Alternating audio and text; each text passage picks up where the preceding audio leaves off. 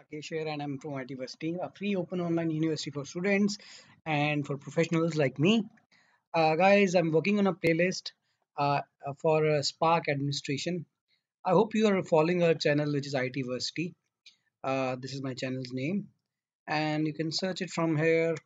ITversity Hadoop or ITversity Spark will come. So, guys, I'm working on a playlist uh, in which what I'm doing is I'm um, I'm creating a standalone server on EC2 for Spark administration.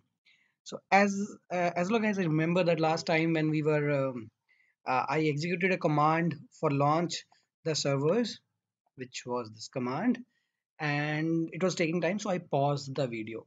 Guys, let me tell you what actually has happened um, uh, during that time. So during that time, I was able to launch the server, and I was able to log in into the server, and I was able to do certain things into it but then somehow my PC or my uh, my system restarted and some Windows upgrade happened. And after that I was not able to um, log in into the system or launch launch the server again.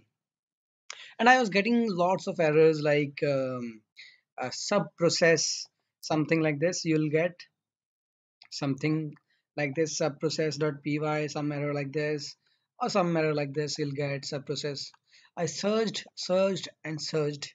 Didn't get anything. And the, in the last i found that there's something wrong with the Cygwin and i reinstalled it.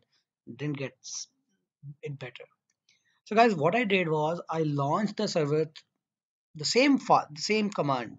So i launched this command from so i changed many things. I looked into google but i didn't get anything good. So i changed the i i logged into ubuntu system and then i uh, then i executed the command with some other uh, uh, uh, cluster name which is itversity cluster. Uh, and it went well and i was able to law i was able to launch a cluster. So these are the logs i would like to share with you.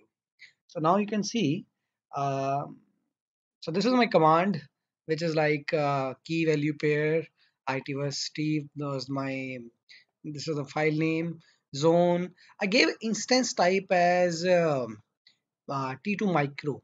The reason is, guys, uh, we know that AWS is giving us a free subscription for a year for T2 micro and I use this resume resume because I was in the middle of something. Uh, not in the middle. I launched the server and in between it was hanging, so I use the same server name. So I use this resume, and that was the main reason. And guys, you can see that it asked me about whether I have exported the AWS cluster, AWS ID. This is the same, and then it went all well.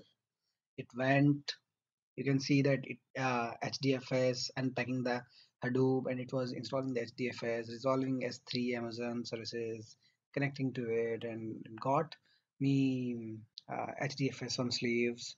So I hope that uh, you now mm, understood. Uh, you can see that uh, RStudio has been installed, and in the end, what I get was that um, my server standalone server cluster has been created, and this is my uh, uh, this is this particular is uh, uh, is my web UI for Spark. If I go here, Gang Ganglia is also started. I do not know more about Ganglia, but I'll figure it out what it is. So if you can go, you'll see a server where the master is 7077. This is the master node, right? And this is my server, and this is my worker node. I can go here and see whether the worker is available or not. So you can see the memory is 1 GB gigs only. So this is my server. This is my master. Uh, this is my slave or the worker in Spark, and this is my master. So total core used is one. Aligned worker is one. This is my master URL and done. So guys, if you get any error, let me know. You can get SS waiting for SS test ready.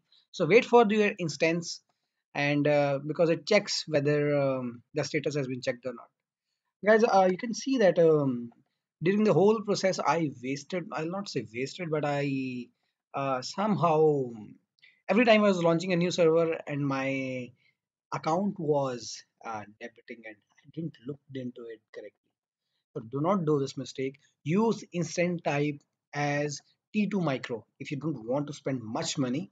Else, mm, every every learning has its own cost. So that's it. So guys, uh, that was about launching a server. I hope you will be able to launch the server. So once you have launched the server, I would want what you can do is you can log in into the cluster. So there are many ways how you can log in into the server. One is this particular command. Instead of this, you can see right? So you can simply call this command and you can launch the server. I think I recently had launched the server. Uh, yeah, so you can see that uh, minus k the files and login and the stuff. So guys, try to do it uh, through Ubuntu. I request you. If you do not have Ubuntu, uh, try to install it through VM. It will be good.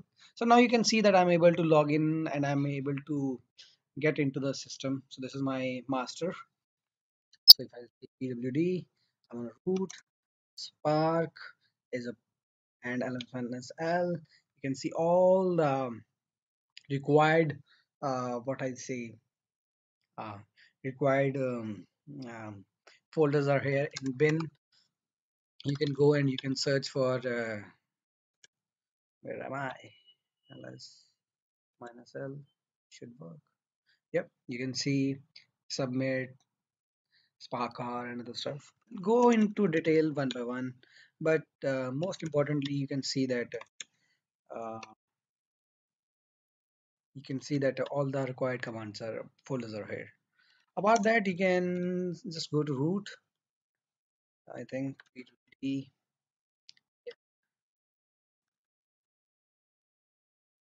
okay. Yeah. And uh, if I exit from this system there's another way you can um, okay. Oh, sorry. I need to write simple exit and it will exit from the system and if you're not um, comfortable with this command what you can do is you can simply type spark ec2 get master master and itv cluster. Right. So it should actually gives you the uh, the cluster. So it will give you the okay this is my uh, this is my uh, I say so this is my master. Right. So you can copy this and you can type a command like um, spark ec2 uh, um, you can do simply ssh ssh minus i itv yep. So root hmm, what happened? Why is it give me a moment. Give me a moment. So yeah guys you can see that um, just by typing this command uh, ssh minus itv perm and I was able to log in into the system again. And exit the system. Yeah. So guys um, uh, apart that uh, i would like to explain one another topic of the system is that um, whenever uh, now it is a standalone cluster right? And the master will be this master and um, the port will be uh, 7077 which is the default for port for master correct? And you can see that uh, the slaves uh, if you have about suppose you have seven node cluster or eight node cluster in which you have five worker IDs, all should be displayed here, which actually gives you that okay, the cluster has been configured correctly, right? So remember these things and um, give me a moment. And I think uh, that, that is it.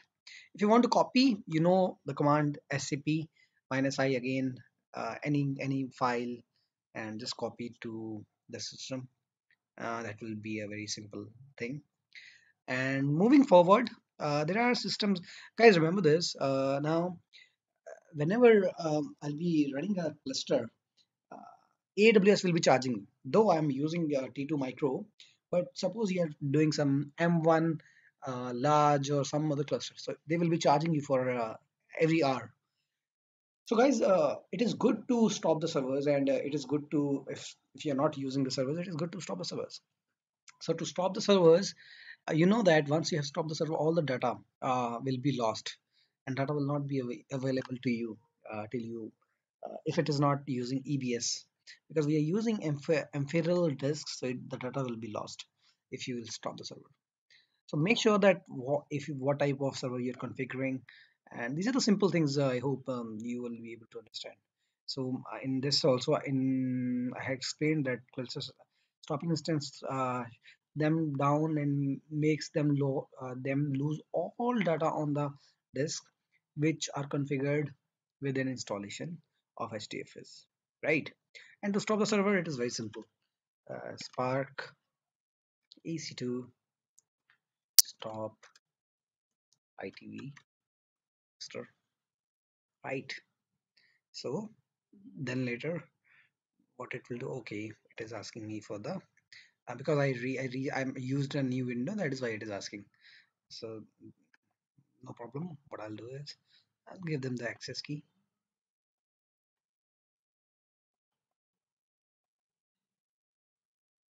And I'll give them that uh, it will be secret access key also.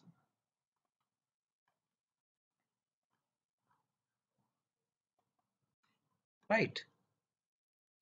So stop the server so what it will do is it will stop the server for you. And that is what we want. Right?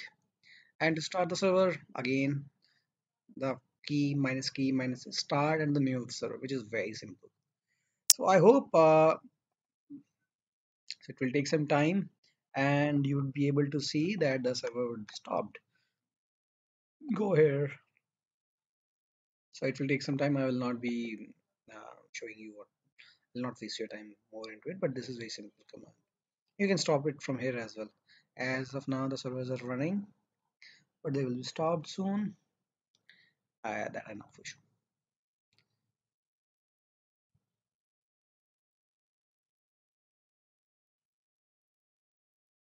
Okay what I'll do is I'll pause the video for a minute and we'll back we'll be back in a minute. So guys I'm back. You can see that uh, the servers are stopped and you can start the servers by using the other commands. So that is it. I hope uh, it will be stopped here as well. Let me refresh it.